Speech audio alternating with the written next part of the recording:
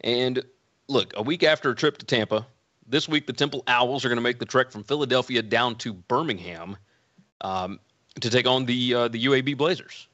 Uh, UAB is currently a seven and a half point home favorite, and the total at BetUS currently sits at 64 and a half.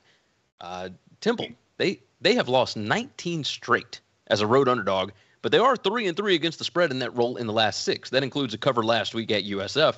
Uh, UAB on the other side, they are eight and two against the spread in their last 10 as a home favorite. Kyle, these two teams are number 22 and number 17 in PPA margin, and look, that's that's over the last four weeks, but. Uh, you know, they're number 82 and number 117 in PPA margin. And I don't know how much of the stats really matter because UAB quarterback Jacob Zeno was out for the Memphis game, and Temple quarterback EJ Warner was out for the games against North Texas and SMU. Uh, Temple's offense with Warner, if they don't turn the ball over, that's a big if, they are really, really good. And it, it's kind of the same for Zeno. Uh, what do you see happening between these two teams?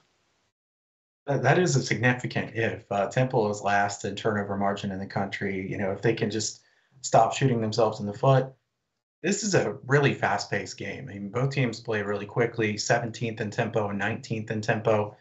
Temple has some odd things about their team. I was, as I was looking at this game, their kicker has kicked it out of bounds six times this year, and he only has 16 touchbacks on 43 kickoffs. So uh, not a great start. And then UAB, nine kickoff returns allowed of 30 yards or more, which is worst in the country. So we could see some really weird stuff happening in a game like this.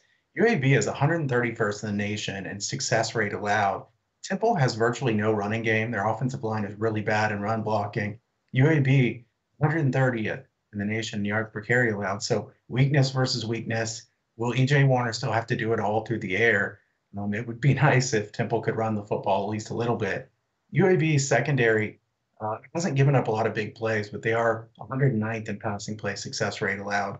The Temple secondary is really, really bad. 123rd PFF in coverage grade, 132nd in opponent QBR. I think Zeno has a big game here. Uh, UAB 25th in success rate on offense. I lean to the over in this game. But guys, I've been burned by Temple overs enough. I don't know if I want to do this again. So um, it, it, honestly, it probably means this one will win. Um, I do lean to the over here.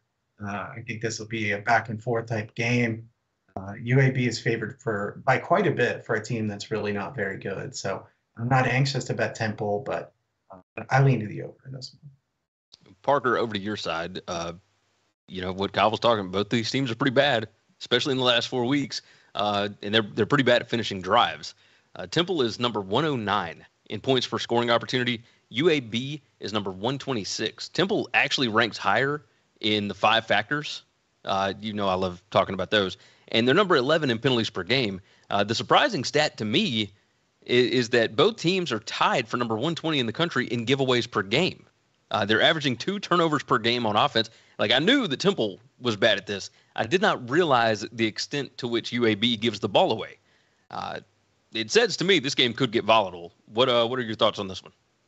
Well, one, we got people in the chat complaining about Sam Houston State and Western Kentucky and not this game. I would watch Sam Houston State, Western Kentucky 10 times out of 10 uh, over over this. These are two bad teams, man. But uh, and and the thing about UAB is they're like substantially less fun than they were last year. That's that's what really bums me. It's not when a team is not fun. It's when a team was fun and then they decisively shift away from that identity. And I feel like UAB has kind of done that on offense. Their offense still 72nd in EPA per play. That's the best unit on the field.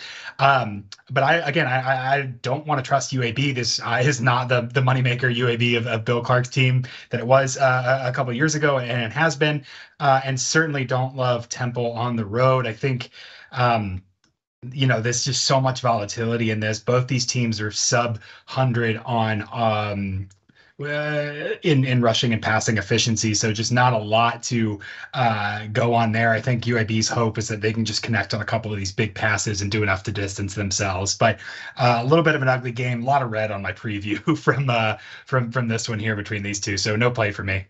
That's for me. I'm going to make a play here.